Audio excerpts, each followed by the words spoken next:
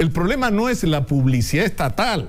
El problema es, número uno, hacer publicidad estatal sobre aquello que realmente es relevante y de importancia para los ciudadanos, es decir, de información que las diversas instituciones del Estado tienen que hacer llegar a los ciudadanos, número uno. Número dos, que no se utilice políticamente esta información. Y esto tiene dos, dos, eh, como, dos caras, por así decirlo. Una, que yo te doy publicidad y tú no te puedes meter conmigo. Porque si tú me criticas, te quito la publicidad estatal. Y eso ocurrió, por supuesto que sí, incluyendo el gobierno de Pedro Pablo Kuczynski. Por supuesto que sí.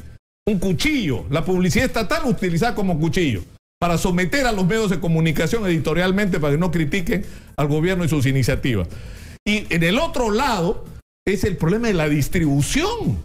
O sea, ¿con qué criterios técnicos se distribuye? O sea, yo pregunto, ¿por qué? Por ejemplo, la República tiene en, el gobierno de PPK más publicidad que exitosa.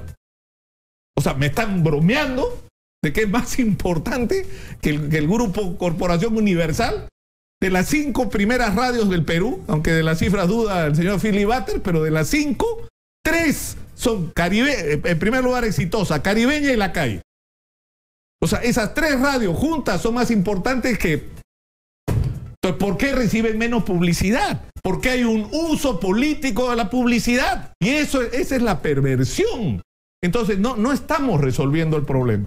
No estamos resolviendo el problema con, con una ley de esa naturaleza que parece muy, eh, atractiva ¿no? para la, opinión pública. A la gente le gustan estas cosas recias, pero la, pregunta una vez más es si esto va a resolver o no va a resolver el problema de cómo se... O sea, porque, por ejemplo, eso de que se canjee publicidad por el pago de, del canon. Entonces, el, el, canon es un pago que no es, creo, ni el 1% de lo que se está distribuyendo de publicidad estatal.